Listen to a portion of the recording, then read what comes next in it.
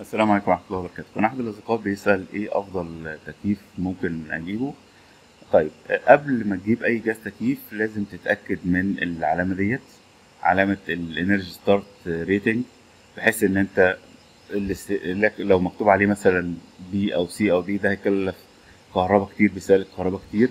فهتلاقي عندك A plus plus plus وفي حتى خمسة plus شفتها في العربي. فانت ممكن دي اهم اجهزة ممكن ان انت تجيبها.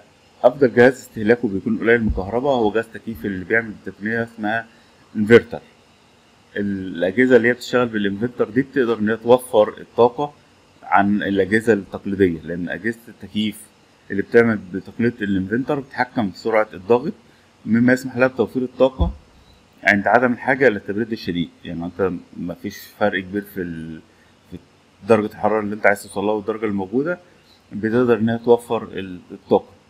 وكمان ممكن التكييف يكون معتمد على الألواح الشمسية. خلي بالك مفيش حاجة اسمها آه، طاقة شمسية للتكييف. لا هي بتدخل على السيستم للشقة كلها فهو بيساهم في تقليل الكهرباء المستهلكة من الشقة. فده محتاج يكون في نظام طاقة شمسية متكاملة. يعني يكون في ألواح شمسية ووحده تحكم في الشاحن وبطاريات ووحده توزيع فالالواح الشمسيه دي هتحول طاقة شمسية لكهرباء وتقدر إنها تخزن في البطاريات ونقدر إن إحنا نستخدمها طول اليوم. فلازم جهاز التكييف يكون بيشتغل بتقنية إنفنتر.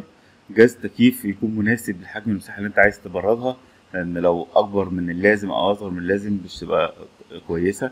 يعني ممكن تجيب واحد بيكيف زيادة عن اللزوم فتستهلك كهرباء أكتر أو أصغر مش قادر يكيف في المنطقة كلها.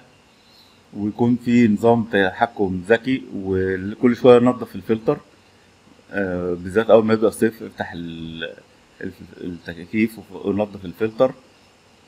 لما تيجي تشغله اقفل ال- الشبابيك والابواب وما تحطش جهاز تكييف في مكان معرض لأشعة الشمس المباشر.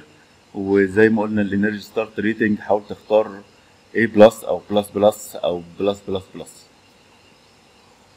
طيب أفضل الماركات. في Sharp و Miraco Carrier و Miraco Midea. دي أهم الماركات اللي الأصدقاء قالوا عليها. وحاول تعمل عزل يعني. لو أنت على السطح حاول تعمل عزل. هنتكلم في فيديو منفصل عن أنواع العزل اللي إحنا ممكن نستخدمه بحيث إن إحنا آه، نقلل ال- ال- الفرق الحرارة الرهيب. وحتى الحوائط الخارجية ممكن لو أنت لسه تبني حاول إن أنت تخليها تبقى كاملة مش نص لو أنت بنيت خلاص حاول إن أنت تعمل برضو عزل ليها بحيث إن إحنا نقلل ال- الحرارة اللي بتتهرب من البيت.